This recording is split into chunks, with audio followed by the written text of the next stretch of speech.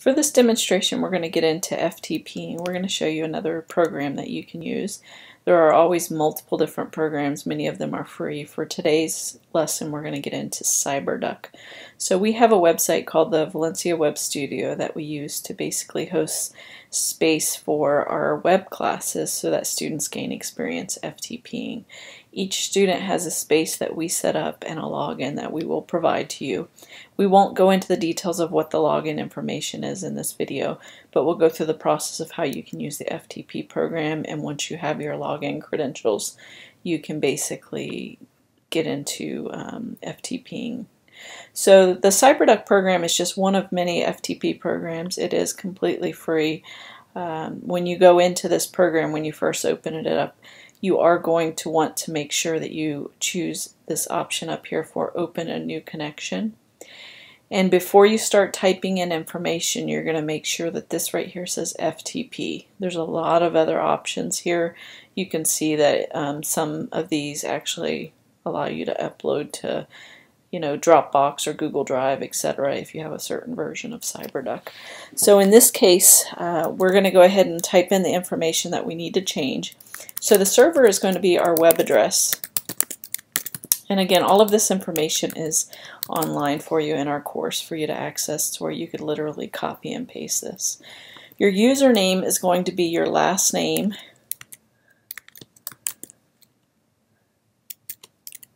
And then um, at Valencia Web Studio. So that's going to vary, and your instructor will let you know if they've made any type of exceptions in some cases, you know, if you have a name with multiple um, names in the last name, sometimes we simplify it, or if two students have the same last name, we may come up with a different username. That at Valencia Web Studio, though, is a requirement. If it's not on there, your FTP login is not going to work. And then your password is going to basically be what we provide to you. So you are going to want to make sure that you go into the online course and get your login information. Once you are in, um, this basically gives you a list of all of the different things that we are going to be working on.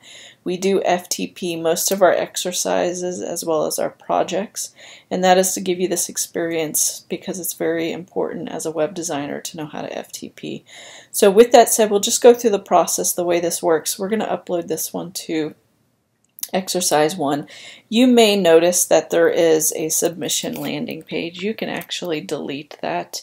Um, and we're going to see there's the delete option right there. I am right clicking on this to get this option up. So we're going to go ahead and delete that. And then I have my files right here. And these demo files basically were provided by a student lot from last semester. And we basically have uh, our comps set up, and this was in another video. So if you've missed this, you do want to go back into the course and just review. So you want to test it on your end first and make sure all the images are working. And in this case, they are.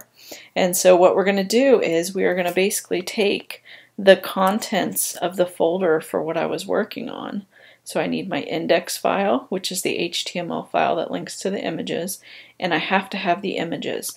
Now before you upload, you want to make sure that your naming conventions are somewhat okay.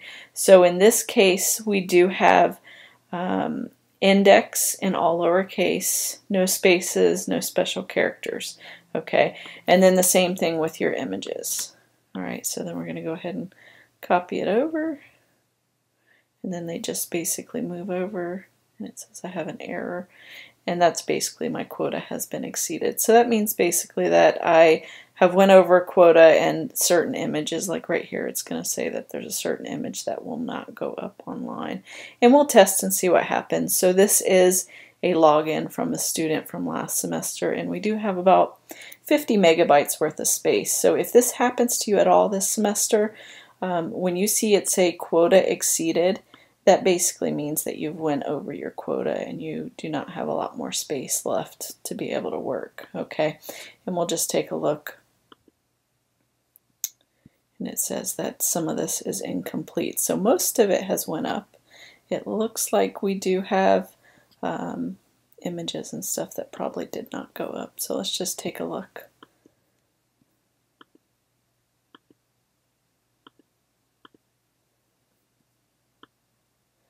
All right, so you see how the images are missing? So that basically means that my images did not go up online. So if I basically go in and delete something, we'll just kind of walk you through what that process would look like. So this right here is basically the project that I have that is probably putting us over quota. And we're just going to go ahead and say delete. And we'll go ahead and delete another project just because I don't feel as though I'm going to need this either. And that should fix the problem. Now on your end, if this happens, you want to make sure whatever you're deleting is stuff that has not been graded because we do need to make sure that we are able to review your files, etc. So usually this doesn't happen until later in the semester unless you're not paying attention to the type of files you're uploading. So if you happen to post a PSD file or an InDesign file, that's probably going to put you over. So I went back and got these images and I'm just dragging and dropping them right back into the exercise. And then it says, okay, continue. We're going to overwrite that file. That's what that just asked us.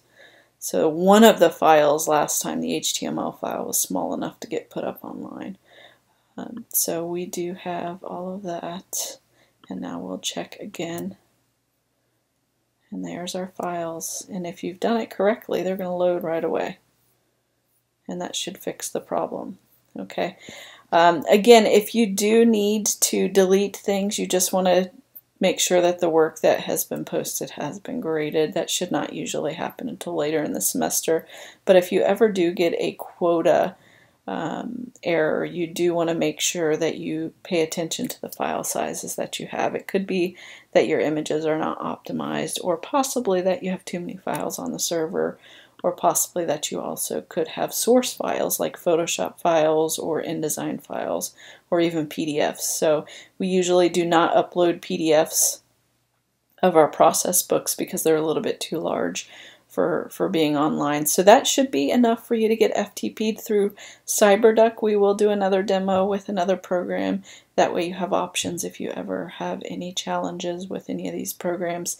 Um, just know that your instructors are there to support you and we can help um, guide you through if you're running into any challenges.